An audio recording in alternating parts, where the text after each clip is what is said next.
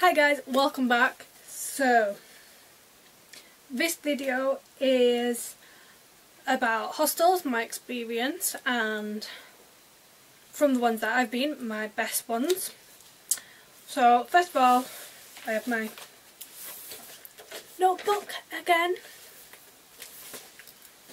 Uh, so let's just start. I stayed at seven different hostels throughout my time travelling.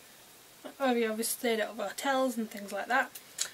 Um, there's all different types. There's like female dorms, male dorms, large ones, small ones, mixed, all different types and obviously you can stay in the ones that you feel most comfortable in. I did a pretty good mixture, like my whole travelling experience was a pretty good mixture to be fair. Uh, the first hotel, oh, hotel, hostel that I stayed in was in Sydney and it was the Wake Up Hostel and I highly recommend that one. It was really good, it was top notch for I keep to say hotels, it was top notch for a hostel. Um, it was very clean, um, nice and tidy, really good facilities. You know, they had um, money off coupons for activities in Sydney, the lots of things like that.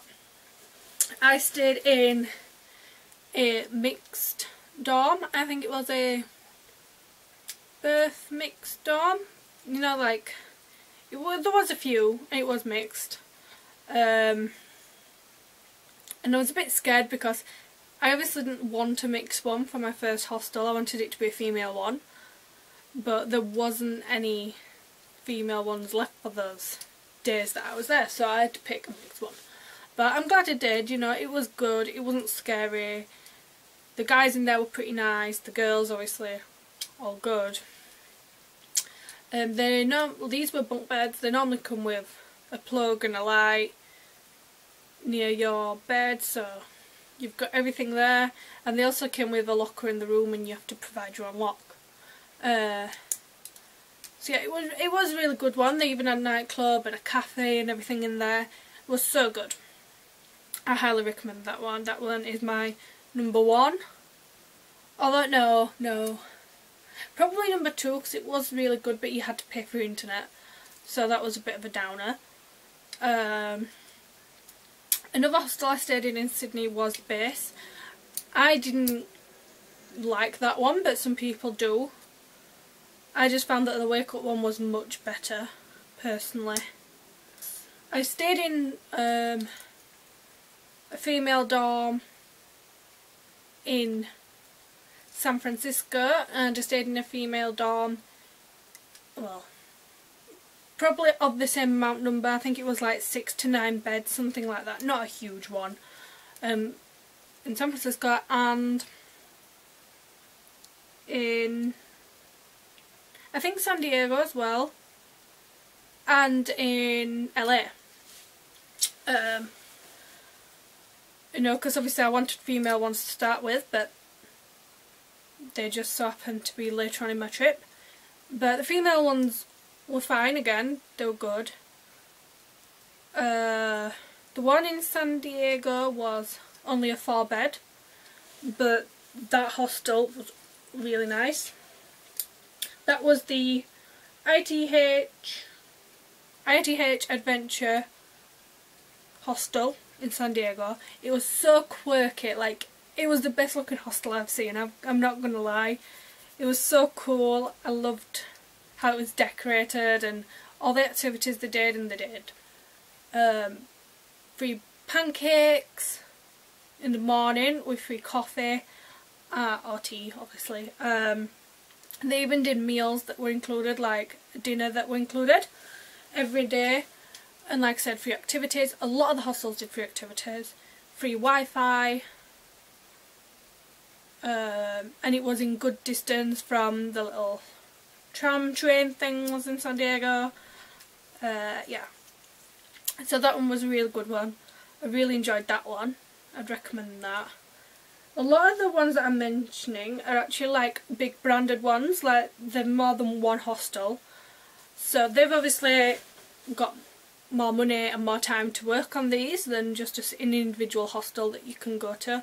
But they were really good value for money, like I would stop in these again. Even if I had extra money to stop in a hotel, I'd probably stop in these. Just because they all offered free activities, you know, like city tours and to go to places you just had to pay for admission, you know, there were um, minibuses, uh, things like that that they provided. And plus loads of information, some had like activities that you could pay like a couple of dollars for. Uh, or ones where you just had to pay for your bus fare, whatever it was. Really good. They all, all the ones that I liked, except from the Wake Up one, all offered free Wi-Fi, which again is good. Um, next one on the list that I really liked was the High Hostel in San Francisco. That was obviously my last place. But again, that was really nice. I loved how it was decorated. They did a movie night because I went near Halloween. So they had a movie night. Oh no, it wasn't just one night. It was like every night there was from 11 o'clock there was a scary movie on the it was projecting projection thing. They had a kitchen obviously so you can do your own thing and a bar and it was free unlimited coffee again which I always drink coffee so that is just a bonus. There was a few hostels in America that did the free, yeah, there was another one that did the free unlimited um, coffees, which is good. They also did breakfasts. It wasn't like, oh, a big cup breakfast, but it was bagels and toast and things like that that you could have cream cheese and things that was all free or you could pay a dollar and get unlimited pancakes at that one as well. That's the one, I think it was only a four bedroomed one in that one with the bathroom that was in the room. Uh, I really liked that one like I said. It was in good location as well, very close to bus stops and in walking distance from the main shopping area. The only problem with the San Francisco one, you have to, to get to the main shopping area if you want to walk, you have to walk through the Tenderloin area, which is known for lots of homeless people. I didn't find it too much of a problem, but it just depends on how you feel. But yeah, this city tour bus stops and things like that weren't far from it, so yeah, I really liked that one. Uh, and the last one that I really enjoyed was the USA Hostels um, Hollywood one. That was in an amazing location, like ridiculously close to like the Walk, the Stars, the Walk of Fame, whatever it is, and now was like on the street as you walk down, all the way from the train station because I got the train to the hostel or subway or whatever you guys call it. I don't know. Yeah, I think it's subway um, from the airport to there and was in walking distance. Uh, and then in the other direction it was right near Chinese theatre, um, basically all the tourist things, yeah, you know. It's so close, really excellent location.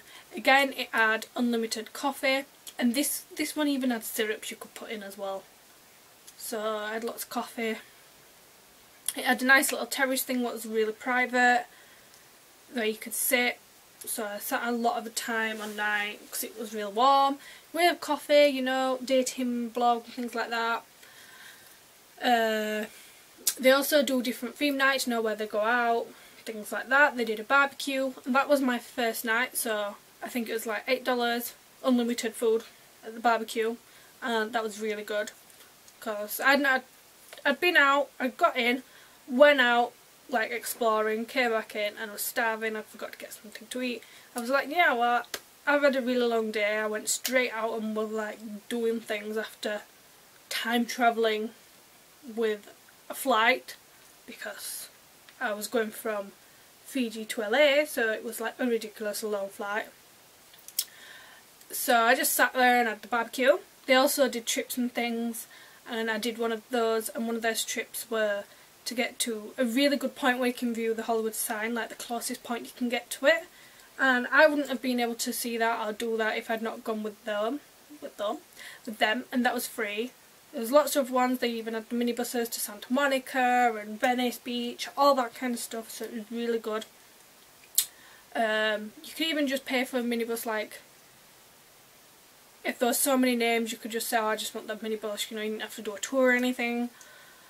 Uh, they had breakfast was included there as well and they had yogurts and bagels and pancakes, things like that again, which is amazing.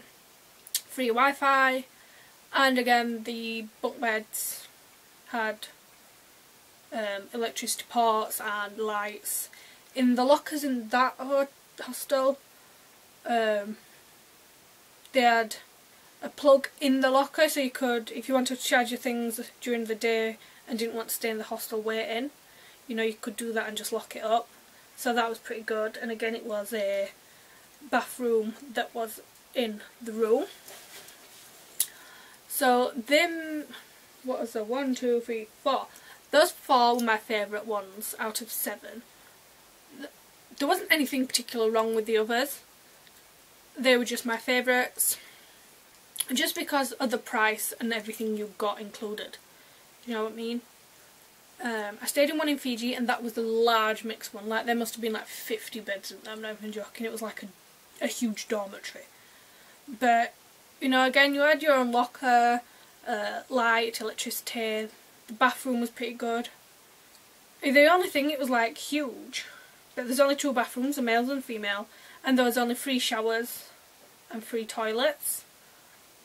So, I mean, I never had trouble having to wait, but I can imagine that could be a problem if all of a sudden you was with a big group and you all wanted to get ready to go out to party. Could be an issue, just saying. But you know, that was a nice hostel, breakfast was included.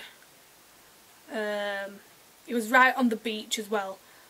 Like, so it was really cheap to say that you got a hostel that was right on the beach. Literally, it was part, the beach was part of the hostel, and it was also a hotel, so that's probably why. But, you know, decent free breakfast. You had to pay for your Wi-Fi.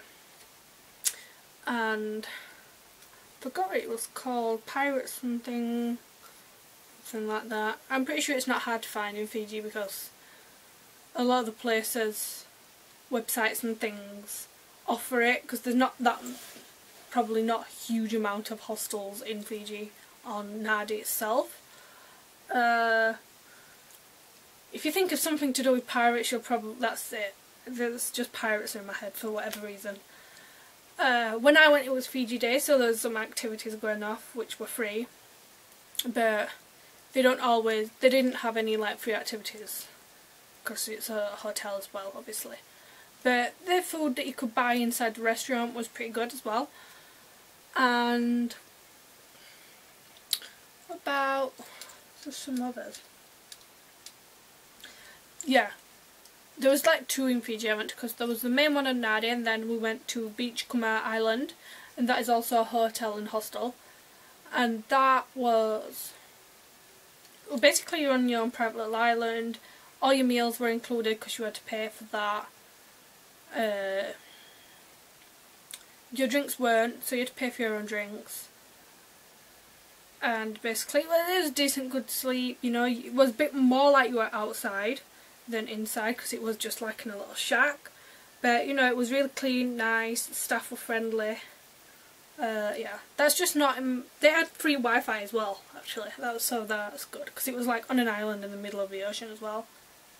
So, yeah, that was pretty good that I managed to find Wi-Fi there. So yeah. Like I said, there wasn't anything terribly wrong with the others, that they just didn't make it to my favourites. It was just because those four are the ones that I remembered, like, when people ask me about hostels, they're the ones I think of and want to tell people about. So they obviously set an impression, and it was a good impression for me for hostels. I enjoyed them, I would do it again, there wasn't an issue. The only problem I do have was because obviously you have a lot of people you don't know. Um, I have an issue with lights being left on and things like that when I'm trying to sleep and a lot of people do that. They're not, not everyone is um, as kind or as thoughtful of other people as some people are. I'm pretty, I was really quiet if I came in late, I went straight to the bed or turned my light on, got sorted, did what I did and turned it straight off and went to sleep. If it was late, you know, I'll go straight to the bathroom to do get changed and whatever. I tried to make as little noise as possible and if it got late I just turned my light off and used my iPad to do what I was doing and didn't make noise. However there's a lot of people that aren't that quite considerate and they'll come in, turn the light on and go off and not come back for another hour because they've gone for a shower and to everything but left the lights on. They'll come in and start packing at 3 in the morning and start moving the stuff. Um, sometimes you can't help that because if your flights are at daft times you have to but when my flights were at really early mornings I'd made sure I was completely packed the night before so that all I had to do was get changed, throw those in my suitcase and go. But there's some people that didn't do that because they was out drinking and to get to, they'd come in at like 2 in the morning, pack their case because they'd been out drinking, leave their lights on to go to shower, come back after an hour. I'm like fuming at this point and then they go at like 5 in the morning with their suitcase making as much noise as possible. That was a really bad case. Didn't happen too often. Thankfully I stayed in a lot of places where people were really considerate. I didn't have that issue too much. So yeah. Everyone's different, so I'm sure somebody else you could ask them and they'd turn around and say, definitely not, never stay in a hostel. But I enjoyed them and if you're going to any of those areas, like I've stated, um, San Francisco, San Diego, um, Hollywood in LA in particular, and Sydney, those are the four I would recommend.